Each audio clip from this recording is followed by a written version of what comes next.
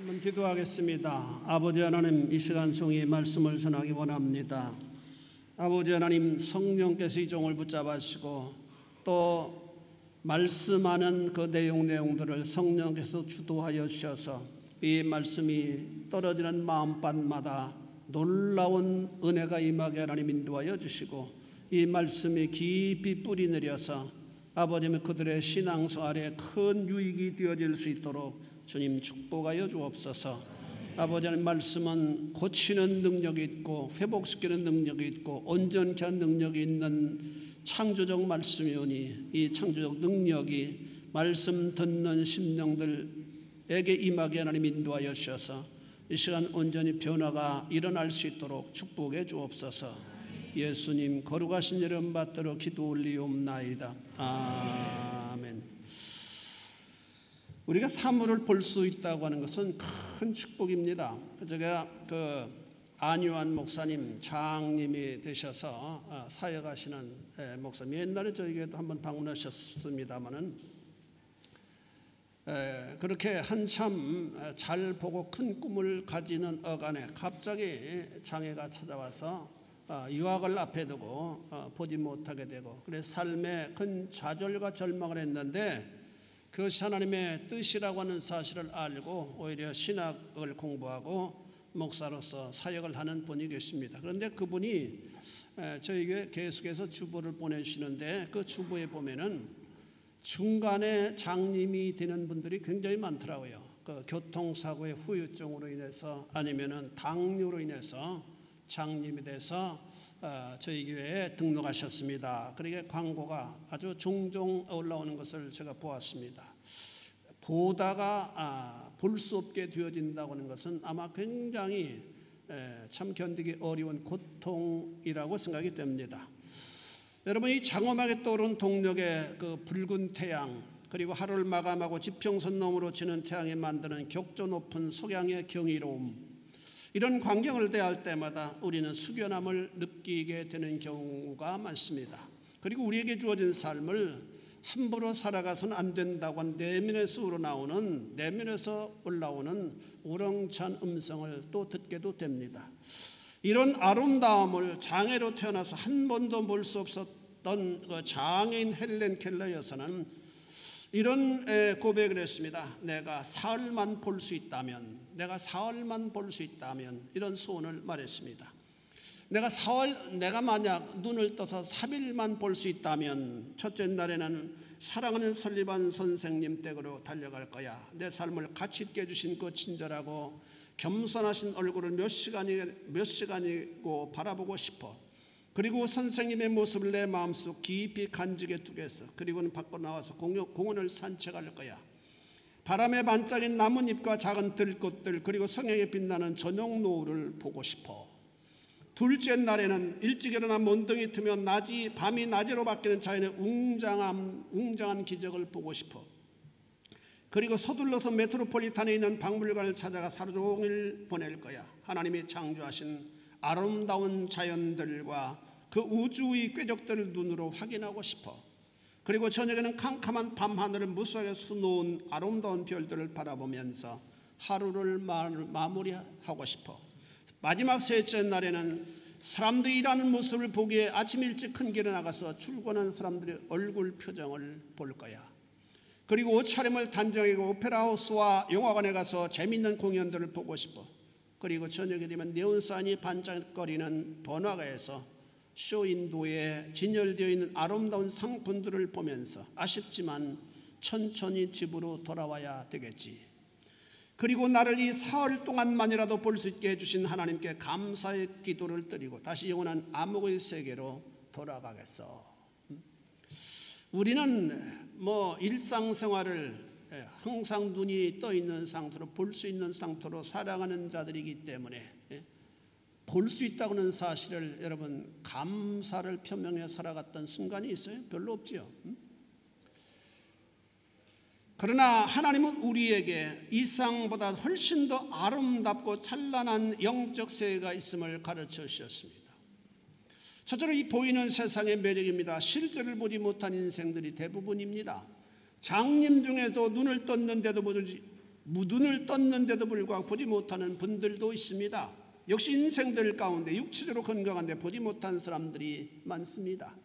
주님은 마태복음 13장 14절 이사야 선지자의 글을 인용하여 어, 말씀하기를 너희가 듣기는 들어도 깨닫지 못할 것이요 보기는 보아도 알지 못하리라라고 말씀하셨습니다. 주님의 말씀이 이 땅에는 수많은 사람들이 스스로 건강하다고 믿고 있으면서도 영적 세계를 깨닫지 못하고 보지도 못하는 사람들이 많다라고 하는 사실을 말씀하셨습니다. 이런 인생은 불행한 존재다라고 주님은 선언하십니다. 뿐만 아니라 사단은 세상을 아름답게 보이도록 인생을 유혹함으로 말미암아 많은 사람들이 영적 세계에서 무관심한 가운데 살아가는 경향이 많습니다. 마이가 주님을 유혹할 때 세상을 찬란하게 보이도록 유혹을 했습니다. 마태복음 4장 8절에 보니까 마이가 또 그를 데리고 지극히 높은 산으로 가서 천하만국과 그 영광을 보이면서라고 말씀합니다. 우리 주님을 유혹했던 사단을 의미합니다. 높은 산 위에 주님을 데리고 가서 세상이 한눈에 보이도록 했습니다.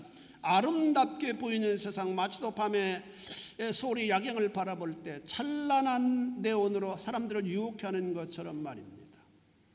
이것이 예? 그러나 밤이 지나고 낮이 되면 전혀 평범하게 됩니다. 이것이 세상에 화장기 없는 모습입니다. 사단은 항상 세상을 찬란하게 보이도록 유혹합니다. 어? 라스베가스를 가면은 밤에는 얼마나 찬란한지 몰라요. 그런데 낮에 보면은 완전 펴처럼 아주 쓸쓸하게 보이게 됩니다. 이렇게 찬란하게 우리를 유혹함으로 말미암아 사람들로 하여금 세상을 섬기게 만들고 세상을 경비하게 만든다라고 하는 사실입니다. 두 번째로 보이는 세상의 불안전성입니다. 세상에는 죄로 인한 고통이 예, 상존하고 있다고 말씀합니다. 세상의 진솔한 모습, 화장기 없는 민낯은 결코 아름답지 못한 모습입니다. 바울은 세상을 본받지 말라고 말씀합니다. 그래서 즐거움과 평안이 있어야만 되는데 고통과 괴로움, 슬픔과 눈물이 항존하는 것이 바로 세상의 현실입니다. 우리의 삶을 돌아볼 때도 즐거웠던 기억보다는 슬프고 고통스러웠던 일들이 훨씬 더 많이 추억되어진다고 하는 사실을 우리는 부인할 수 없습니다. 우리는 행복하려고 입술을 깨물지만 행복하지 못하는 경우가 얼마나 많은지 몰라요. 인생은 어느 때가 되면은 아마 사랑하는 사람을 만나게 됩니다. 아마 여러분들 가운데 결혼하지 않은 분들도 굉장히 많이 있고 결혼에 대한 아름다운 환상을 가진 분들이 대부분이라고 생각이 됩니다. 그 좋아요. 그 사랑은 너무 커서 원상을 준다 하더라도 바꿀 수 없을 것 같은 사랑을 아마 여러분들이 꿈꾸고 그 사랑을 여러분들이 하게 되어질 겁니다. 그리고 그 사랑하는 사람과 이윽고 꿈에 그리던 결혼합니다. 얼마나 행복한 일입니까? 어떤 남자는 뭐 7년을 쫓아다니면서 아, 여자의 허락을 받아서 아, 결혼했다고 그렇게 고백하는 에, 그런 것들을 보기도 했습니다. 그런데 그 사랑의 기쁨과 환희는 얼마가지 못한다고 하는 사실 앞에 우리는 쓸쓸함을 금할 수 없습니다. 사랑의 녹이 슬기 시작합니다. 상상하지 못했던 미움이 일어납니다. 그래서 결국은 후회하고 어, 엄청나게 싸우다가 헤어지는 일들도 다반사입니다. 어찌 이런 일이 일어날 수 있습니까? 성경이 모든 일이 죄 때문이라고 선언합니다. 죄가 얼마나 큰지 사랑했던 예, 사람의 사랑도 갉아먹고 미움을 키우게 만드는 하나의 원인이 되어진다라고 한 말씀입니다. 그래서 솔로몬 이런 고백을 했어요. 전수 2장 11절에 보니까 그 후에 내가 생각해 본적내 손에 내 손으로 한 모든 일과 내가 수고한 모든 것이 다 헛되어 바람을 잡으려는 것이며 헤아려서 무익한 것이로다라고 말씀합니다. 인간이 일상에서 행하는 모든 일은 헛되고 헛되고 헛되어 공중의 바람을 잡는 것처럼 헛되도다라고 선언합니다. 세상에는 죽음이 있습니다. 히브리 9장 27절에 보니까 한 번 죽는 것은 사람에게 정하신 것이요 그 후에는 심판이 있다고 말씀합니다.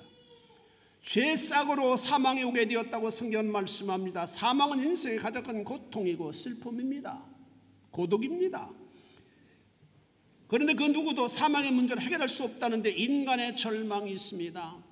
사망은 한 인간의 삶을 끝나버리게 만듭니다. 그 사람이 아무리 뛰어나고 특정한 재능을 소유한 사람이라 하더라도 소용이 없습니다. 모든 사람을 열광시키는, 열광시키는 사람이라 하더라도 일단 죽으면 그 모든 인기는 금방 사라져 버리게 됩니다. 사망은 모든 인생을 아주 평범하게 만들어 버립니다. 사망은 인정사정이 없어요. 예? 사망은 예수님께서 평소에 사랑하시던 나사로의 생명조차도 어? 끊어버렸습니다. 그래서 주님은 나사렛 무덤에 찾아와서 예? 죽어버린 나사로 친구 나사로를 향하여 통분히 여기셨다고 말씀합니다. 이유는 사망의 세력에 노출된 인생의 연약함에 단식하심을 의미합니다. 더 나아가서 영생을 영생을 인생으로 지어주시는데 저로 말미암아 사망의 세력 앞에 굴복한 인생들을 향하신 주님의 연민 때문입니다. 그래서 사도 요한일서 3장 8절에 사망을 행사하는 자 마귀의 일을 멸하시기 위하여 주님께서 오셨다라고 말씀합니다. 마귀의 일을 멸하시기 위해서 주님이 오셨다. 우리 한번 따라서 하겠습니다. 마귀의 일을 멸하시기 위하여 주님이 오셨다. 마귀를 멸하시기 위해서 오셨다. 그렇게 하면 좀 어폐가 있는 표현입니다. 마귀의 하는 일을 멸하시기 위해서. 마귀 한 일이 뭐요? 어? 하나님을 대적하는 일입니다. 하나님을 대적하고 우리를 공격하는 일이랍니다. 그렇다면 마귀가 어? 이렇게 활동할 수 있는 근거가 있는데 그 근거는 하나님의 율법입니다. 내가 율법을 범했으니까 너는 죽어야 된다. 넌 율법을 범했으니까 너의 미래는 없다. 이렇게 우리를 유혹합니다. 그런데 우리 주님이 오셔서 율법을 완성하시고 십자가상에 달려 죽으셨습니다.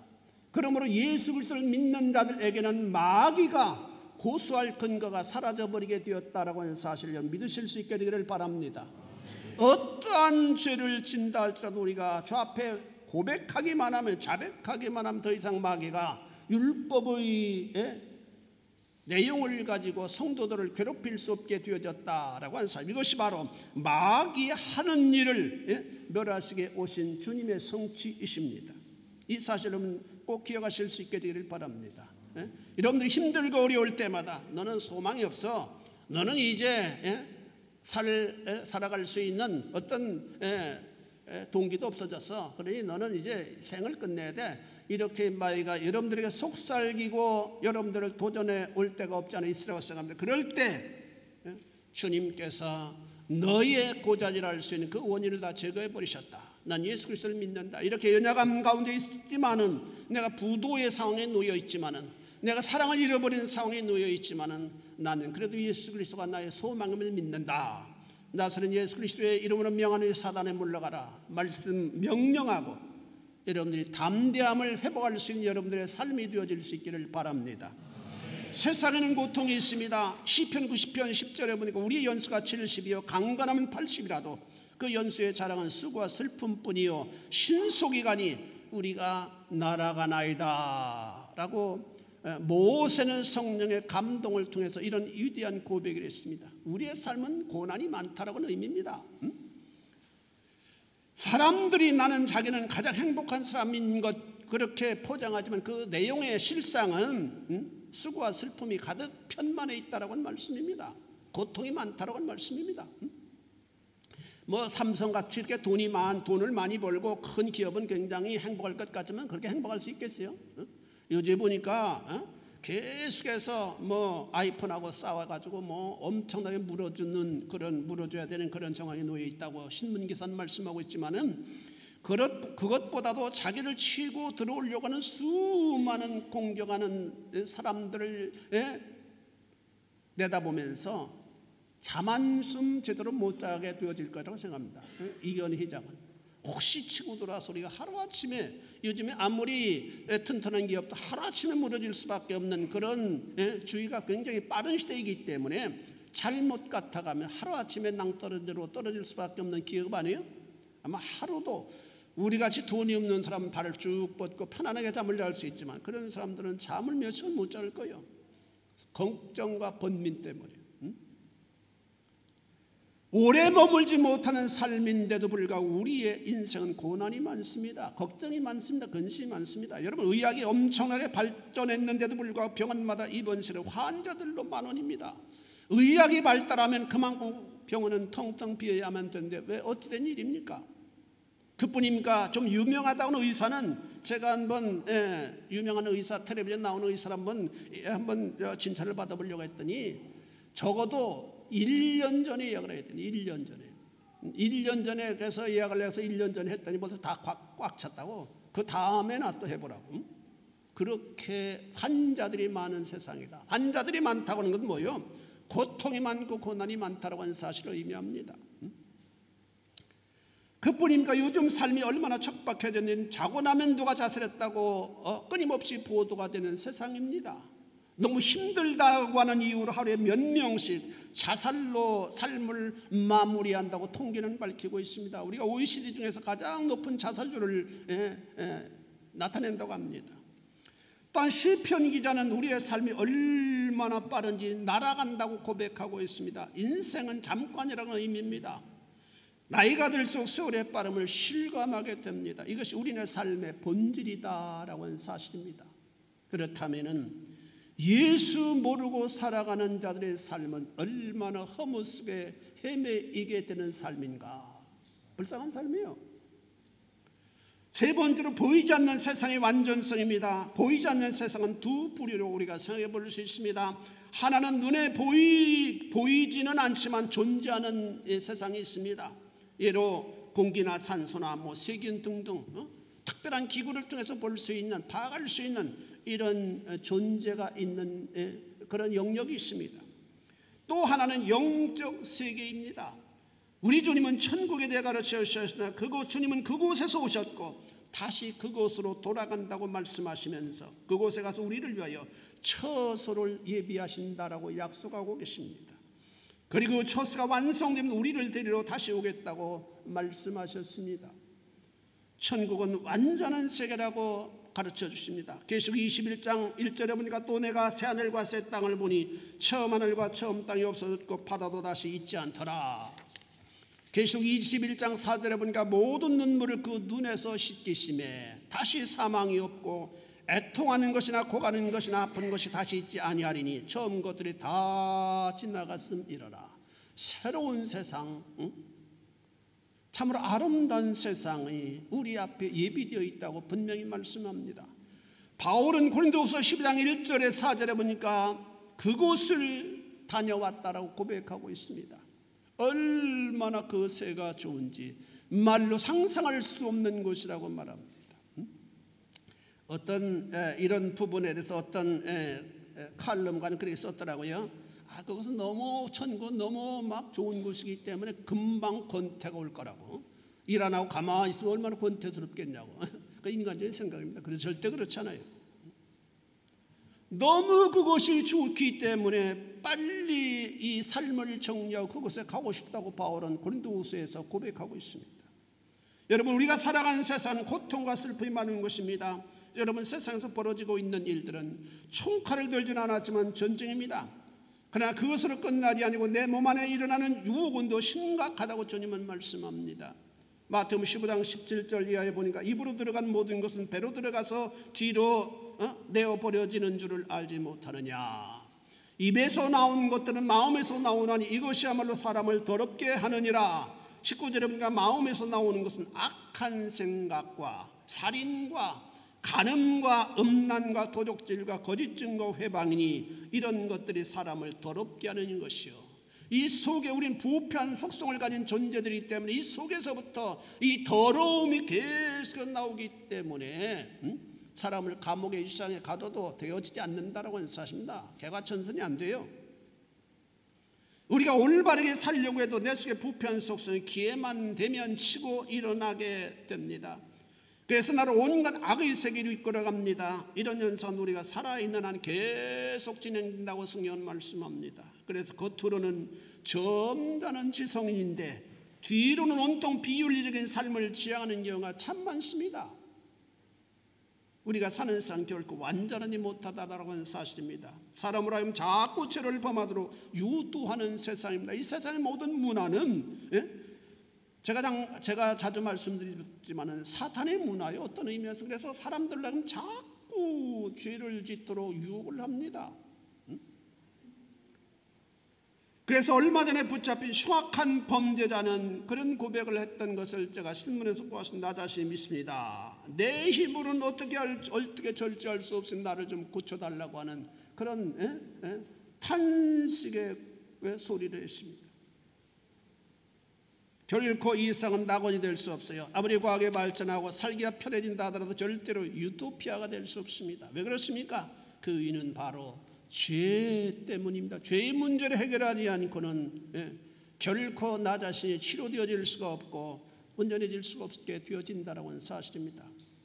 죄가 저 인생의 전 영역을 지배하고 이 세상을 잘못된 가치관으로 바꾸어 놓았기 때문입니다. 그런 만물은 주님의 재림을 학수 고대하고 있다고 바울은 로마에서 말씀하고 있습니다. 만물이 다 저주를 받았기 때문에 주님이 재림하셔야 만물이 회복이 되어지기 때문에 만물은 우리는 느끼지 못하고 보지 못하지만은 주님의 재림을 그렇게 악망하고 있다라고 성령의 감동을 통해서 기록하고 있습니다.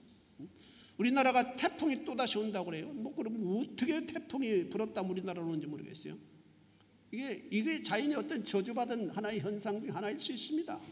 자연은 우리 인생들을 위해서 인간의 편안함과 인생의 안녕을 위해서 하나님께서 만들어 주신 거예요. 그런데도 불구하고 이런 자연이 인간의 죄를 범함으로 말미암아 그 죄의 여파가 자연에까지 미침으로 말미암아 그 자연이 사람을 고통스럽게 도전하고 있는 세상이다라고 하는 사실입니다. 그럼에 비해서 천국은 영원한 세계입니다. 주님의 재림을 통해 회복된 세계는 아름다운 세계입니다. 계속 21장 23절에 보니까 그 성은 해나 달의 비침에 쓸데없으니 이는 하나님의 영광이 비치고 어린 양이 그 등이 되심이니라 라고 말씀합니다. 거기는 해와 이런 이적인 어떤 기구가 필요가 없어요. 주님이 빛이 되신 분이시기 때문에 주님이 거하심으로 말온 천국이 가득히 밝음으로 충만하다라고 하는 사실. 계시 22장 5절에 보니까 다시 밤이 없겠고 등불과 햇빛이 쓸데없으니 이는 주 하나님이 저에게 비치심이라 저희가 세세토록 왕 노릇하리로다라고 말씀합니다. 우리가 주님의 천국에 가서는 왕 노릇하게 되어진다라고 하는 사실 여러분 기억하시고 응? 소망을 붙잡으실 수 있게 되기를 바랍니다. 천국은 주님께서 친히 다스리시는 곳입니다. 계시 22장 3절에 4절에 보니까 다시 저주가 없으며 하나님과 그 어린 양의 보좌가 그 가운데 있으리니 그의 종들이 그를 섬기며 그의 얼굴을 볼터여 그 이름도 저 이마에 있으리라 우리가 천국에 살 수 있는 일은 뭐예요? 하나님을 찬양한 일 그것이 계속 되어집니다. 하나님을 찬양한 일. 천국에 가면은 뭐 믿으라 할 필요가 없어요. 그런 믿음이라는 단어가 없게 돼요. 소망이라는 단어도 없게 돼요. 우리 하나님을 찬양하고 감사하고 어? 하나님을 영화롭게 하는 이런 일들만 천국에서 계속 행하게 되어진다라고 하는 사실을 우리 요한계시록을 통해서 배우게 됩니다. 하나님과 어린 양의 보좌가 있다고 하는 것은 하나님과 어린 양 되신 예수 그리스도께서 친히 통치하시는 세상이 우리의 본향된 천국이다라고 하는 말씀입니다. 모든 성도들은 어린 양의 얼굴을 친히 볼 수 있다고 말씀합니다. 지근의 거리에서 그분을 보고 그분의 다스림을 직접적으로 받게 됩니다. 서구 역사학자들 중에는 이 땅에 존재했던 국가 중에서 가장 모범될 만한 때, 가장 평화로운 때가 아우스투스 황제 때라고 어? 보는 미래학 미, 사학자들이 있습니다. 그때 가장 평화로운 시기였다고 합니다. 그러나 세상은 평화로운 시기보다는 고통스럽고 어려운 때가 훨씬 더 많았습니다. 전쟁이 얼마나 빈번하게 일어났는지 모릅니다. 지금 세계는 2차 대전이 끝난 후 64년 동안 평화가 유지되고 있습니다. 그동안에도 물론 국지전들은 중간중간에 많이 있었습니다만은 예? 대전은 없었어요. 그러나 지금은 무기를 들고 싸우는 전쟁은 드물게 되었지만 그 대신 경제론 전쟁이 치열하게 벌어지고 있는 시대입니다. 우리는 잘 모르겠지만 현장에서 몸으로 부딪히는 사람들은 이 시대가 얼마나 치열한 시대인지 아마 알게 될 겁니다. 잠이 오지 않을 거예요. 한마디로 세상엔 진정한 평화가 존재하지 않습니다. 진정한 평화는 개인적으로 평강의 주인 되신 주님을 내 마음에 모셔드려야 되고 세계적인 평화는 평화의 주인 되신 주님께서 재림하셔야만 이루어지게 된다라고 성경은 말씀합니다. 믿으시길 축원합니다. 내가 개인적으로 평안하기 원하면은 주님을 구, 어? 주님을 나의 구주로 내 마음에 모셔드리면 되고 온 세상이 평화의 나라가 되어지기 위해서는 평화의 주인 되신 주님이 재림하심으로 말미암아 성취되어질 수가 있다. 여러분 뭐 대통령을 다시 뽑고 아무리 해도 어? 유토피아가 이루어질 수 있겠어요? 천만의 말씀입니다. 절대 그렇잖아요. 조금 나아질지는 모르겠지만 사랑하는 성도 여러분 우리의 창조는 우리가 보고 느끼는 것만이 아닙니다. 오히려 보이지 않는 무한대의 세계도 하나님이 지으셨다라고 말씀합니다. 그 보이지 않는 세계 가운데 가장 중요한 세계가 천국입니다. 주님께서 십자가에 달리시기 전에 제자들에게 고별사를 하셨습니다. 그것은 힘이 없어서 십자가를 짊어지는 것이 아니라 우리의 죄를 담당하시기 위해서 스스로 지는 십자가라고 천명하셨습니다.